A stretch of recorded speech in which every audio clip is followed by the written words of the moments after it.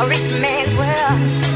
I have turned the of this beautiful, but beautiful.